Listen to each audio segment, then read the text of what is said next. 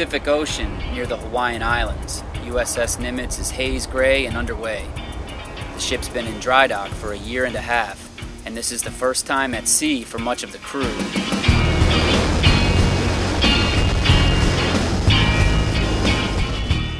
While the sailors train in skills crucial to mission success, a small group has begun another journey.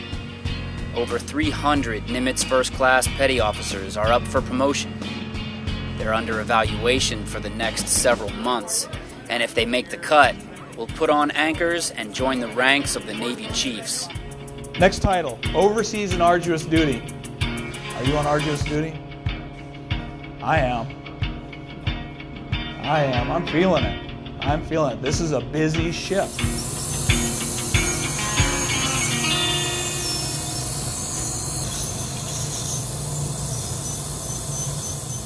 I am Hospital Corpsman First Class Jonna Obermiller. I grew up in Spokane, Washington, and I joined the Navy in September 1998.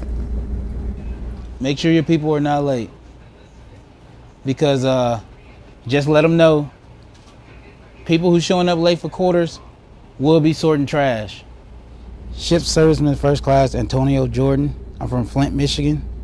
Well, I joined the Navy in March 12th, 2001. If my memory serves me correct. It's been a while. There's a uh, an actual probe that goes up on the on the mast that detects your uh, your intensity of radiation. My name is Damage Controlman First Class Scott Lohendorf. I'm from Battle Ground, Washington. I joined the Navy in 2001.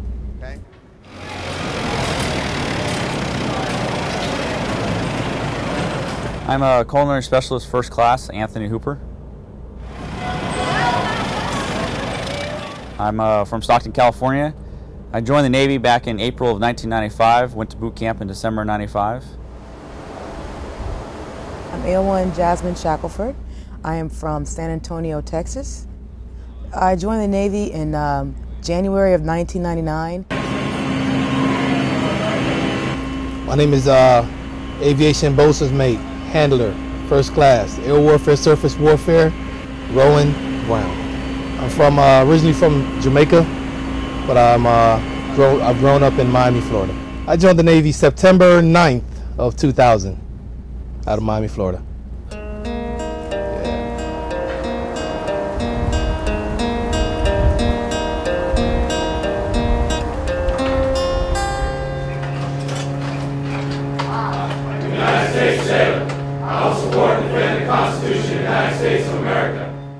LPOs, or leading petty officers, are the managers of their respective departments. The gold fouled anchors of a CPO, or chief petty officer, are a symbol of leadership that transcends work centers and are a beacon to all sailors. The chief candidates attend CPO 365, a course designed to prepare them for that next level of responsibility. Leading the course is Senior Chief Intelligence Specialist James Williams. There are many qualities that make a good chief petty officer, and I think that holds true for any Navy leader. I think the single most important quality, though, is experience. With experience um, comes the ability to train your junior people in any situation that they may come up in. Um, being, being able to relate your experiences to them and how to make themselves grow because you've been through it yourself. Just by attending class, they show that they're interested in, in advancing themselves learning new skills, and taking care of sailors throughout the Nimitz. Words like potential to be a good chief petty officer is not demonstrating that you're already there. I joined the Navy about a year after high school just to get some experience. Go ahead and open. I'm just going to do a quick exam. I knew I wanted to go back to college and to travel.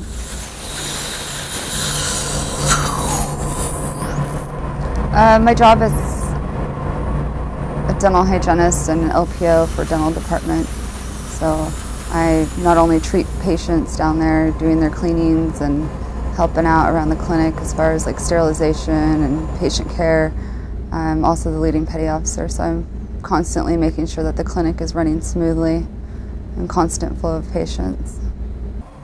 You're gonna have that rough feeling on your teeth throughout the rest of the day.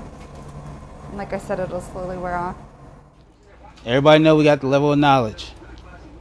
medical and um, medical and damage control. Make sure y'all people is doing that. Well, uh, I was in college. I went to Saginaw Valley State University. Uh, I went there on a football scholarship. Then after a while, then after school, uh, I started to become a parole officer. You know, I was doing my internship over the summer, and then one morning I woke up and realized it wasn't for me. That was something I didn't want to do. So that's when I went to the uh, I went to the recruiter in Flint, Michigan, and that's where it all started. My job description pretty much is to lead, supervise over 42 sailors in the daily upkeep, uh, managing uh, staterooms and uh, various other locations, the ship's laundry, ship's barbershop. Okay with that? It's a little heavy. It's not as heavy as the other one is. I had plans to join the Navy from from way back when. I actually have a, a letter from my that I wrote to the Navy. I think I was about eight years old. Let's put this one on you real quick. This one's a little bit big. And the Navy wrote me back and they said, uh, "Thank you for your your interest in the Navy. Um, write us back in about 10 years, and we'll we'll get you a great career in the Navy." Your face over here. There you go. And then what you'd do is you'd put this on here. My job, um, basically, I'm on the damage control division LPO, so I oversee um, several work center supervisors that are in charge of repair lockers, self-contained breathing apparatuses, charging stations for those SCBAs, um, fixed firefighting systems throughout the ship, AFFF, Halon, CO2, APC, um, and then the whole, training side of the house. I've, I've got a training PO that's in charge of command level training for the entire ship when people come aboard and and they uh, they're brand new. He's the one that trains them on uh, how to fight the fires and or how to fight fires and how to um, contain casualties and and uh, augment a repair locker. Steamship. Hey, you guys are doing a good job. Keep it up. Uh, currently, I'm the uh, cargo leading petty officer. Uh, what that basically entails is I'm in charge of all the food provisions on board uh, below decks. So I'm the ones that requisition out uh, for food uh, to maintain the ship's operational capabilities from anywhere from 30 to 45 days, depending on what we need to do. Um, and I grab that food in bulk and I store it below and I issue it daily to the galleys to make sure they maintain and take care of the crew. Um, so, and just to give you an idea, my daily storeroom average when I load out is anywhere between one and two million dollars. Very proud of what I've done and, and, the decision I've made to, to join the Navy. And I wanted something better for myself, uh, and later on when I started a family, better for them as well. It's midday, and AO1 Shackelford is on her way to conduct a surprise lost tool drill for the personnel and weapons maintenance, a lost tool is a serious safety hazard and can bring work to an immediate stop. Currently, I'm, I'm an AIMD, I'm a QAR, so I supervise the maintenance and uh, the upkeep of bomb racks and missile launchers and uh, maintenance on, on the M61 Alpha 1 Vulcan gun. We got, it's definitely a solid piece missing. Who's got the authority to say, all right, you guys can go back to work? I was an undesignated airman. I, I was working at an airport when I was a civilian, and um, I, I knew that I wanted to work around aircraft. I just didn't know what I wanted to do. I came in undesignated intentionally because I wanted to look around. I Thought I was going to be in ABH, but um, I got put in the weapons department as an undesignated airman. Got sent to the flight deck and just fell in love with AO rate. Really good job, dude. Are you listening, Mr. Ford? Yes. You're listening? Yeah. All right. Okay, I'll give you that one. Good job, Tarbach. Training the troops. Y'all keep hustling. I joined the Navy mostly for school, uh, partly because it was it was getting expensive and uh, to, to, work and go to school. Ended up staying in again because I, I really enjoyed my rate and I wanted to see how far I could go.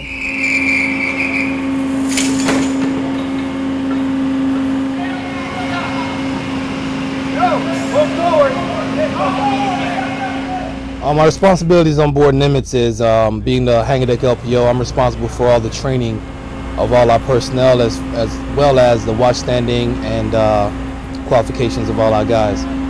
Um, the movement of all aircrafts on the hangar bay to plan it and execute it safely, of course. Um, that's my primary job um, in the hangar bay, making sure that I have enough qualified, trained personnel, proficient personnel to uh, carry out deployment and the needs that come along. Well, prior to the Navy, I was a state corrections officer, and uh, I enjoyed that, but um, not that it was overly dangerous. Um, I just didn't see myself sticking with that for the rest of my life, and uh, I wanted to try something different. Wanted to uh, do something I'm a little more proud of, you know, and uh, the Navy gave me that opportunity, and um, there was a application in the Miami Herald looking for firefighters and uh, people looking for an adventure. Of course, there's a Navy hook, and uh, I went ahead and I uh, took advantage of that. Spoke with the detailer, and uh, decided to make a career change, and it's uh, worked out for the better. But here's the deal. I'm going to give you a little hint, and it'll probably be the last hint you get about induction. And I'll ask a question. What do you think the first thing you have to do is when you find out you made chief?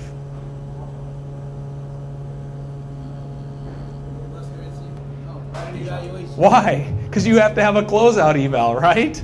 That is going to be your first task.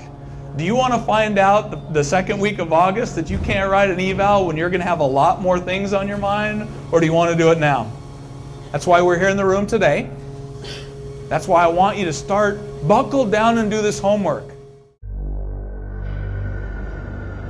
Last year, on board Nimitz alone, hundreds of first classes were up for chief.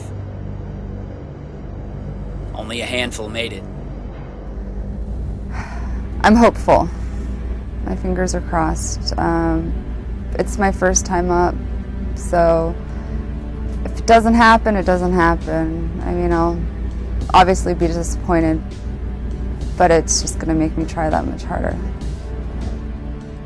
I think this year is my year because I, I feel I've done so much, and within the five, last five years is what they're looking at, and uh, proven myself, in my opinion, as a leader, and uh, and hopefully I'll be thought of as worthy to put the anchors on. I say I got another year before I actually put on chief, because I always, I mean, I still have room to grow. You know, I, I truly believe I still have room to grow, and um, and I think it maybe in a if I about a year, I think I have another year before I uh, pick up chief. I started off uh, at a uh, the lowest level, and to know that I'm achieving a new part, a new place in, in my Navy career by leaving the ship as a chief petty officer would be extremely exciting and uh, extremely motivating at that.